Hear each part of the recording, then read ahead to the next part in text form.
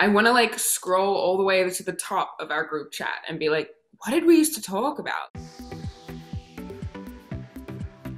The second that I found out that both of them were cast, I got their numbers and, you know, I think found Aisha on Instagram and was messaging her. And then we were soon thereafter in a group chat.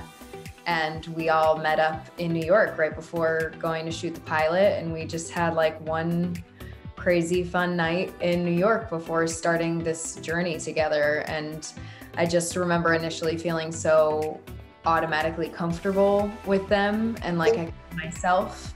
It's not always um, the case that you work with people and get along and form a bond like we have.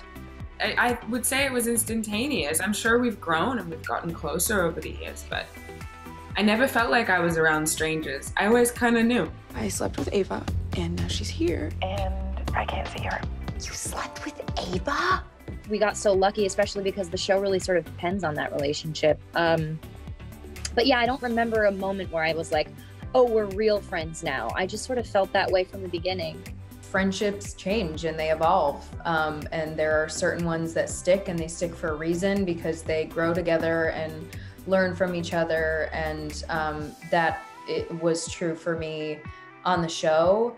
Um, but it was more true for me in real life with Meghann and Aisha. And I feel like the only reason that the friendship worked was because we were learning those things off of set and kind of translating it on screen. Hey! What, are you gonna wear that all day? Yes. Now they're even. It feels like we've spent a long time with these characters and with these people as well because there's literally hundreds of people behind the scenes that are such a big part of the show and kind of the heartbeat of the show and making it what it, what it is.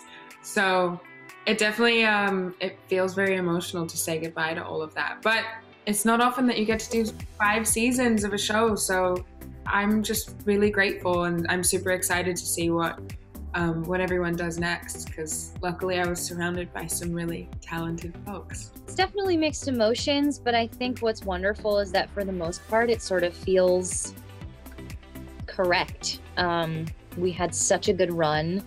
You know, we got to do five seasons, which is more than I think any of us were expecting or even hoping for. So the fact that we got to do that and the fact that we got to go into the final season knowing that it was the final season, really just sort of soaking it all up is sort of more than I could have dreamed of. It's kind of perfect. There was no part of me that thought that like the end of the show was the end of this because it's not.